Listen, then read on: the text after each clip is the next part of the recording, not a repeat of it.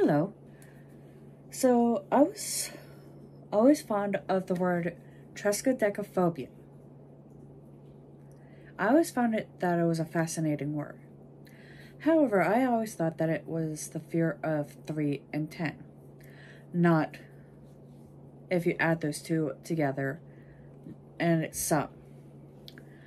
Uh, triskaidekaphobia is the fear of or avoidance of the number 13. The term is derived from ancient, ancient Greek, where triskaideka means 13 and phobia means fear. It is also associated with the fear of Friday the 13th, known as Parasca, uh, or Triskaidekaphobia. Try saying those uh, three times fast. Anyway, the origins of it is the belief that the number 13 is unlucky and has several theories of origin. While some others claim it is an older belief, there is no documented evidence to support this. The earliest attention attestation of 13 being unlucky dates back to after the Middle Ages in Europe. Now, in playing cards, and tarot cards, the death card is number 13, represents death and misfortune. Antoine Court de Goblin, Gibelin in 1781 describes the number 13 in tarot as always looking looked up as unlucky.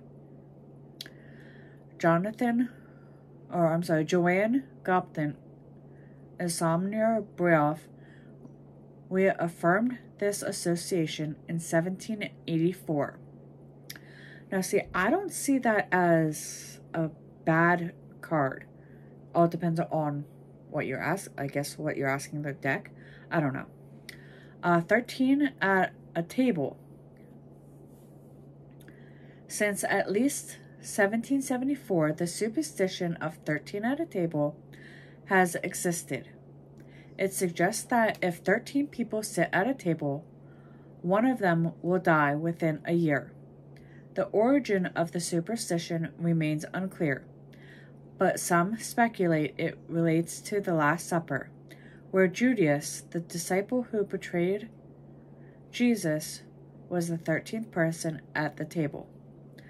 See, I always thought that if there were 13 people at a table, the first person to get up was gonna die within a, certain amount of time.